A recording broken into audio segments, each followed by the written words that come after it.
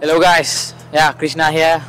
We back in the work from Detail City Car Studio. Alright, so today we have a special series, special unit, beautiful Porsche 911 Carrera S. It's a 2017 or 18 model. We changed this colorway from Caribbean Blue to Inozetek Kato's Kenmery Blue. It's a special series, Inozetek that collaborate with Liberty Walk. So this is the colorway you can see got pink and purple flakes into it.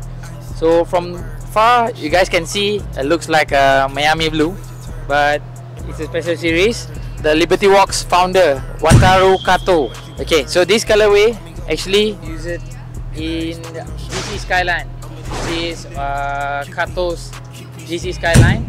That is the first car that did this colorway. After that, followed by the Liberty Walk kit Aventador and Supra did the same colorway.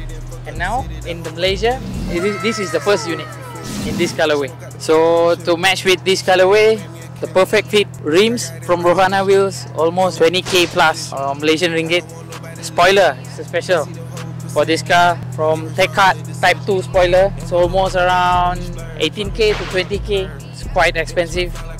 The owner spent a lot of money on this car. Even on the interior also, he did so many things. Uh, the door panels all wrapped by Alcantara. Then the steering, it's a flat bottom, carbon steering. If you guys know, the Inozetek sticker, uh, one of the glossiest sticker you guys can get in the market.